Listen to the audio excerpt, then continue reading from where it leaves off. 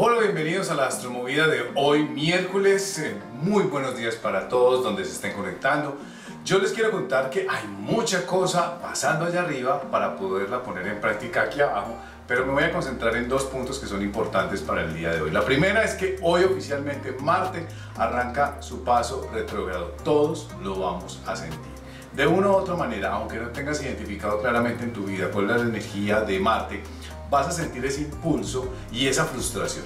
Son dos cosas, como cuando tú tienes un carrito de impulso y lo quieres tirar hacia atrás, pero no lo sueltas y toda esa fuerza está reprimida, está contenida ahí en el motorcito y a veces se revienta la cuerda. Bueno, la idea es que no nos reventemos la cuerda nosotros, que vayamos con ese impulso que tiene Marte hacia adentro de nosotros, pero que no nos encerremos, que no nos aislemos. ¿Por qué? Porque Marte cuando retrograda nos cuestiona y nos hace sentir que no somos suficientemente valorados, que no somos suficientemente validados.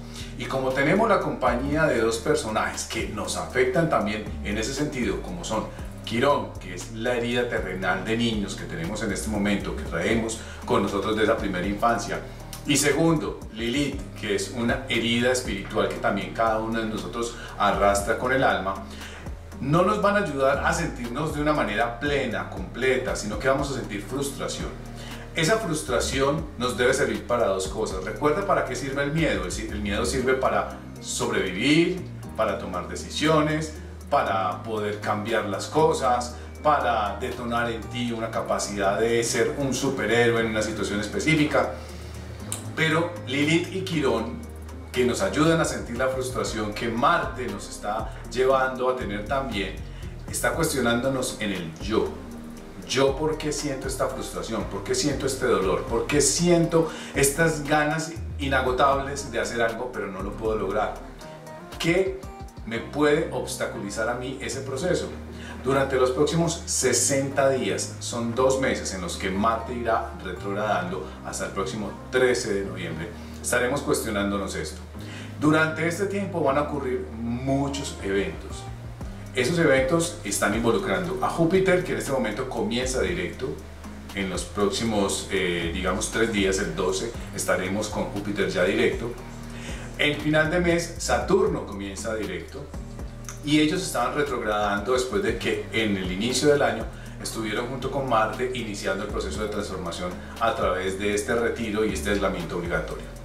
Ahora ellos vienen a imponer los nuevos sistemas, ya estuvieron revisando de lo que faltaba y lo que vamos a ver son novedades y cambios de aquí para adelante.